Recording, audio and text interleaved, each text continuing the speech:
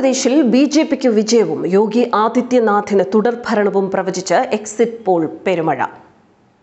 പ്രമുഖമായ പല എക്സിറ്റ് പോളുകളും പല മാധ്യമങ്ങളുടെയും എക്സിറ്റ് പോളുകൾ പ്രവചിക്കുന്നത് ഉത്തർപ്രദേശിൽ യോഗി ആദിത്യനാഥ് സർക്കാർ തുടർഭരണം ഉണ്ടാകും എന്ന് തന്നെയാണ്.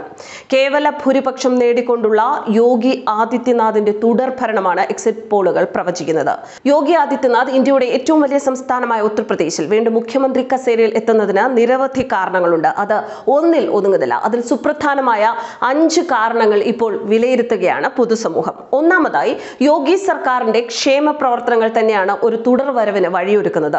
സൗജന്യ റേഷൻ സഹായധനവും സബ്സിഡിയും ഇതെല്ലാം ജനങ്ങളുടെ അക്കൗണ്ടിലേക്ക് നേരിട്ട് കൈമാറൽ ആശുപത്രിയിലെ സൗജന്യ ചികിത്സ പാവങ്ങൾക്ക് വീടുകൾ അങ്ങനെ നിരവധി സഹായങ്ങളാണ് യോഗി സർക്കാർ ജനങ്ങൾക്ക് ഉത്തർപ്രദേശിൽ അവരുടെ ഭരണകാലത്ത് എത്തിച്ചു കൊടുത്തത്. സർക്കാർ സഹായ പദ്ധതികളെല്ലാം കൃത്യമായ ജനങ്ങളിലേക്ക് യോഗി സർക്കാർ എത്തിച്ചു. ഇപ്പോൾ മുപ്പത്തിയാറ് ക്ഷേമ പദ്ധതികളുടെ പണമാണ് യോഗി ജനങ്ങൾക്ക് നേരിട്ട് ബാങ്ക് അക്കൗണ്ടുകളിലേക്ക് കൈമാറിയത്. ഇത് പാവപ്പെട്ടവർക്ക് യോഗി സർക്കാരിലുള്ള വിശ്വാസം വർദ്ധിപ്പിച്ചു എന്നാണ് വളരെ പ്രധാനപ്പെട്ട ഒരു വിലയിരുത്തൽ.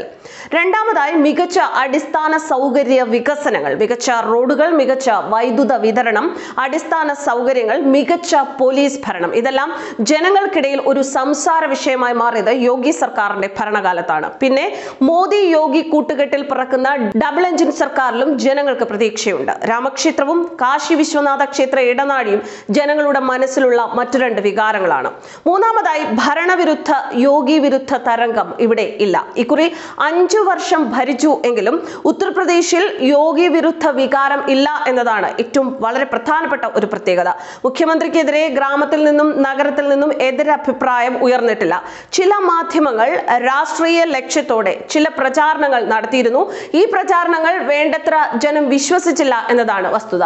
യു പിയിലെ ജനം ഇക്കുറിയും യോഗിയെ രണ്ട് കൈ നീട്ടി സ്വീകരിക്കുന്നു. സത്യസന്ധത എന്ന യോഗിയുടെ മുഖമുദ്ര. മോദിയോളം പ്രശസ്തനല്ല എങ്കിലും യോഗി പോപ്പുലർ ആണ് യോഗി ജനപ്രിയനാണ്. ക്രമസമാധാനം ക്ഷേമ പദ്ധതികൾ സത്യസന്ധത ഇതെല്ലാം യോഗി ഭരണത്തിന്റെ മുഖമുദ്രകളായി വാഴ്ത്തപ്പെടുകയാണ് ബി ജെ പിക്ക് സ്ത്രീകളുടെ വോട്ടുകൾ കൂടുതലായി കിട്ടിയിരിക്കണം. കാരണം സ്ത്രീകൾക്ക് യോഗി സർക്കാരിൽ വിശ്വാസമുണ്ട് യോഗി ആദിത്യനാഥിൽ വിശ്വാസമുണ്ട്.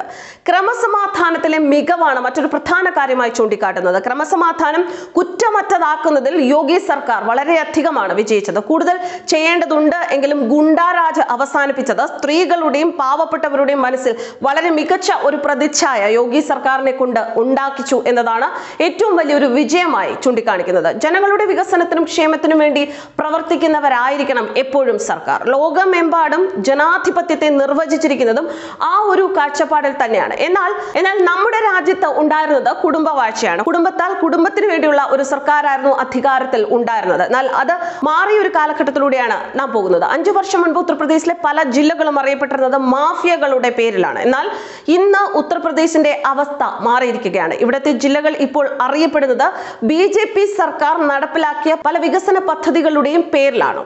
News desk Karma news.